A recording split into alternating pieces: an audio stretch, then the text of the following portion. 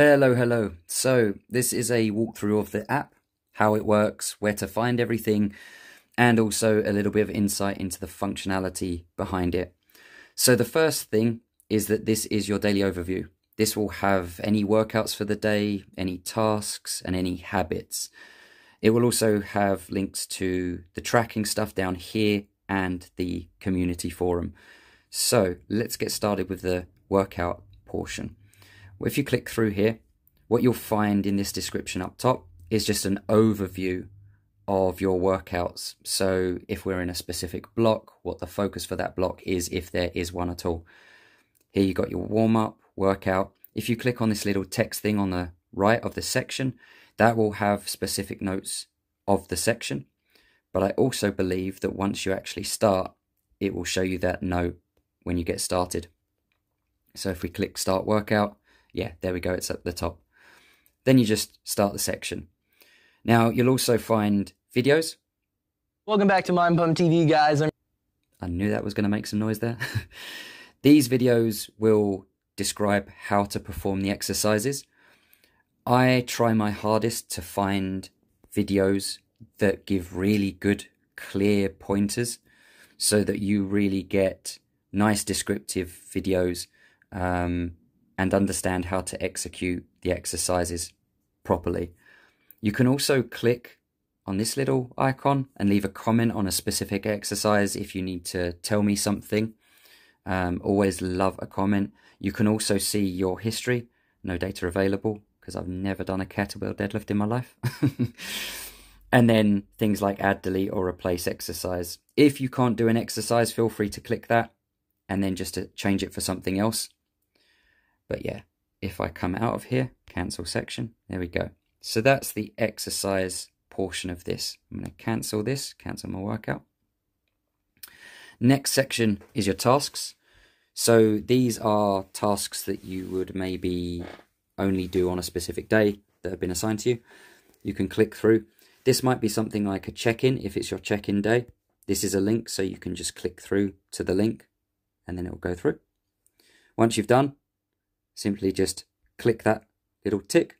And then as you can see that's from my coaching app. So I get a notification that you've completed the task. Same thing with stuff like this.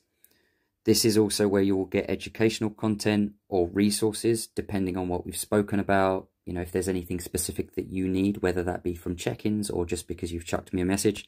And then if it's a PDF you can just click on here and just view it here. You can also grab it and download it forever, which is wonderful.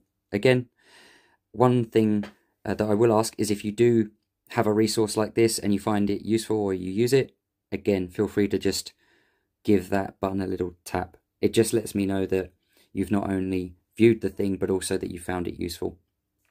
Next, we have habits. I have completed these as I did go out for a walk this morning. Again, if it's a habit that only requires a single action, you can just tick it off.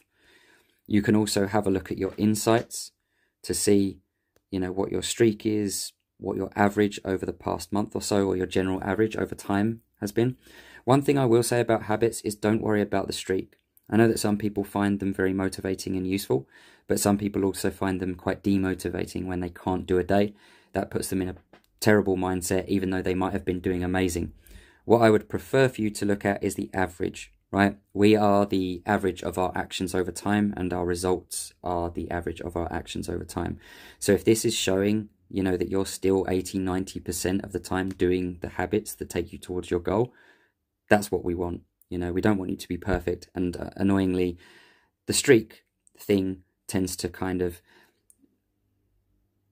put people into a bit more of a perfectionist mindset, which we don't want. So yeah, definitely use the average. You can use the comment section as well to leave any comments, any thoughts or anything. But yeah, once you're done with that, take it off.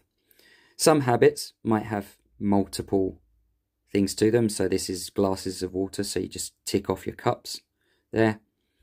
Same thing, insights and comments.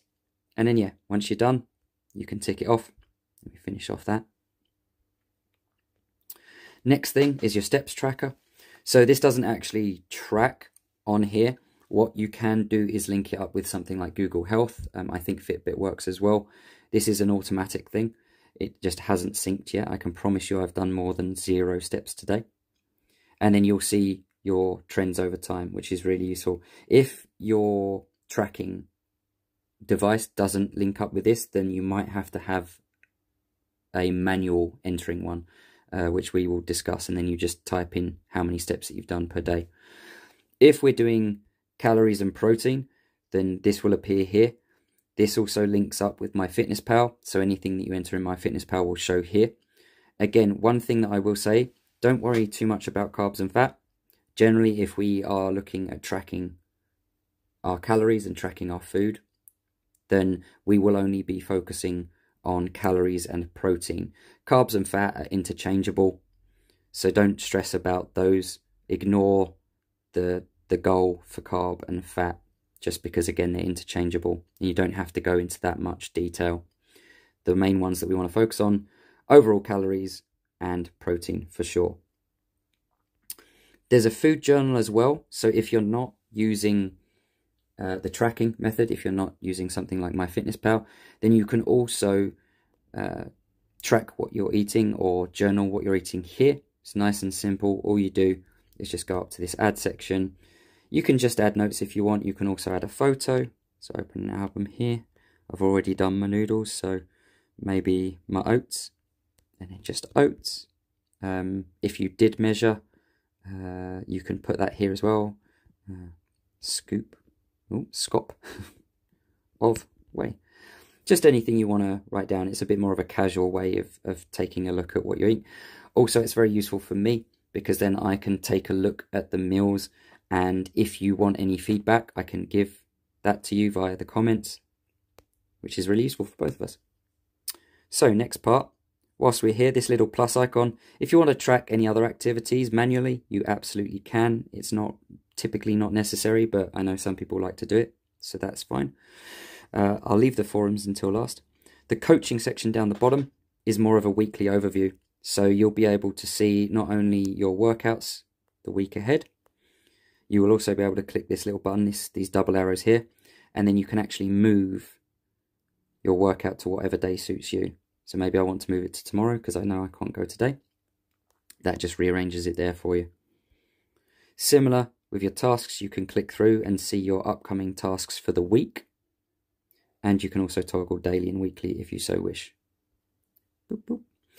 Habits, similar thing. View all of them. You can view your current habits and your previous habits and go back and, you know, check what your streaks were and all that sort of stuff.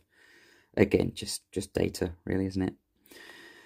Uh, any macros that you have, so anything you've entered in your food intake will show up here again so that you can see on a weekly basis, you can get a gauge as to what your average is doing over the week. Um, or you can do it by day again as well. So yeah, really useful this. Food journal, again, just a weekly overview of that. And if there's any sort of meal plan stuff there. Inbox, typically don't use this, excuse the face, because we'll be using WhatsApp. I just find that WhatsApp is a lot easier. It's a lot more efficient for people, but you know, feel free to use this if you want. And then the U section, again, just gives you a bit more of a, a wider view as to any goals or any metrics that you're taking. So here, if I click through, it will show weight over a month, two months, a year. Again, if, if we're using that and any other metrics that we are tracking or that you have decided to track. You can also click on this bit at the top here just by you, so this view, and it will have any notes as to any goals that I've written or that you write as well as a link to the coaching dashboard. So the, the portal that has all of resources and education that you can take a look at in your own time. I will also point you towards these if necessary, if there's anything specific, because I know that there's quite a lot of information here and I don't expect you to work through it all, especially, you know, in the first few weeks. So yeah, there's a link to that if you ever want to take a look. Let's go back here. Activity history, again, it gives you just an overview of your activity history, your exercise history. So if you want to look back on your performance, you can see this and how many reps you've done, which again is really useful to look back and make sure that you're constantly improving. Ooh. And progress photos as well. If you're taking those, you can pop them here if you want. And you can compare them side by side if you click on this double thing up here and if you've got more than one. Nice. So, just the last thing, the community forums. This is a place for for me to post. It's not for me, it's for everyone, hence community forum. But it's where I typically post any announcements or any things that I think are useful for everyone. So any recipes, links to certain podcast episodes and whatnot. And then at the top, you'll see a little leaderboard thing here as well. If we're doing a step challenge or a habit challenge, that's where you can click through and see where you rank and where everyone else is ranking on the leaderboard. But I'm not going to click through to that. And then, yeah, that's it. Hopefully, that's given you an overview, a better idea as to how to use the app and also as to what is available for you, and also a couple of the important things of, of how to use it from a coaching perspective and what's useful for me as a coach to see. Any questions, please let me know. But yeah, hopefully it should all be pretty self explanatory.